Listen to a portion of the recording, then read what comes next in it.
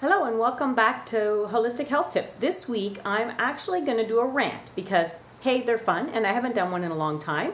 And for those of you enjoy them, you know, I'm out to entertain. That's what it's all about entertain and bring knowledge. Today I'm ranting about unexpressed anger because we all have anger issues. We all hang on to anger. We all experience anger. Anger is a justifiable emotion. It's one that we need to learn to understand and respect and honor. The dilemma is is what actually gets my goat is that people who are unwilling to honor and express their anger. There's lots of them out there and I speak from personal experience because to be quite honest, I was one of those people who for years and years and years completely denied the fact that I was actually angry. And then when I realized through my own treatment that uh, instead of being completely sad and depressed all the time, that actually it was stemming from me hanging on to so much unexpressed anger that was causing my chronic fatigue and all my aches and my pancreas to shut down and all of these potential issues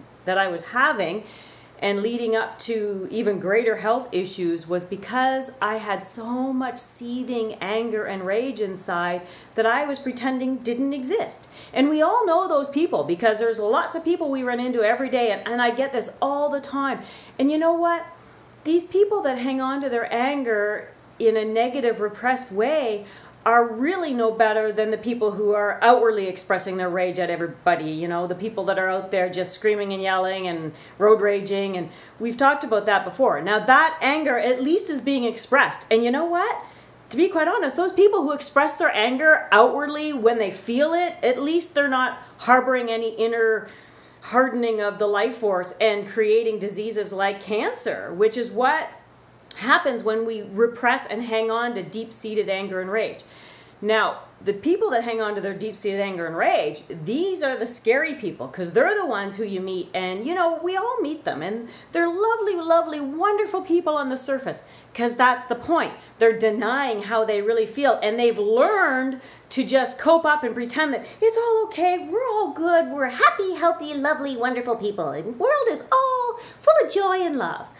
Well, you know what? Those are the people I'd be worried about because those are the people who could snap in a moment and go off and do some of these crazy shootings that we've heard lately. It's horrible, horrific stuff. But it stems from them having not learned how to properly deal with their anger, not to even recognize that they have anger. Again, I've experienced that. I grew up with a dad who completely denied his anger issues from his own oppressive upbringing and then it taught me to completely not honor and experience my anger. And women are the worst for this because we are taught to be lovely healthy loving wonderful joyous giving people yeah that's great and that's wonderful but if we're doing it and forsaking how we truly feel inside and just stuffing all that anger and rage about things that oppress us or repress us or that we should be rightfully angry about at the moment and then release the anger, when we hang on to all that, it hardens us. It makes us miserable, angry people. And when you meet those sweet, lovely people that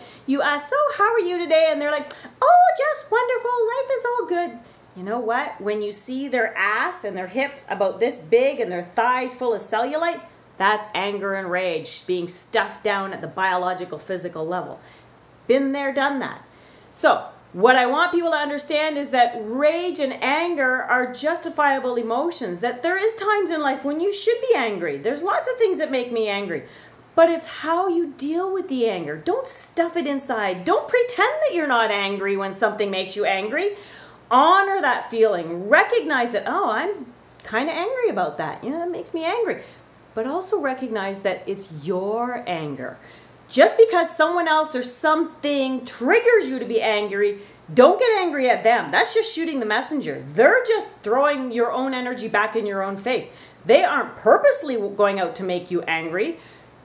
Some people purposely go out to make you angry, but they got their own anger issues, but at least they're expressing it maybe in not in a healthy way, but if you feel the anger back towards them or something else triggers you to be angry, recognize that that's your anger. It's something that's coming from deep inside of you that's bubbling and welling up and wanting to be released and honor it. Recognize it.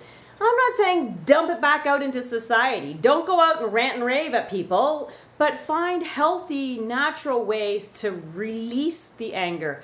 There's lots of organized work. I wrote a blog about this, so go and read my blog. I'm attaching the video to my blog. If you've already read my blog, great. I'm glad you're watching the video too. But if you're just seeing the video, go to my blog. Check out my blog at wholistichealthcare.ca blog and read about some healthy ways that you can go and release the rage and the anger that you're feeling inside instead of stuffing it deep down inside and causing all kinds of biological, physical problems like chronic headaches and digestive upsets, colitis, and fibromyalgia. They're all anger. They're all suppressed anger. Cancer, suppressed anger at a biological realm. So, all I'm doing today is ranting about all you people out there that are pretending that you're not in have any anger issues. No, you we all have anger cuz we're supposed to. We're human. We're supposed to experience every emotion. But don't deny it. Don't be afraid of it. Don't release it back out, but honor it, recognize it, feel it, process it, release it properly. That's what true health is all about. Honoring and recognizing your own state and how you can make you the healthiest being you can be, and then give that health back to society. In True Resident Health, this is Andrea Coulter. Again, my rant for this week was unexpressed anger, and I've written about it called What Gets Your Goat. So go and enjoy, go to my website, have a fabulous, wonderful week. See you back here next week. And off.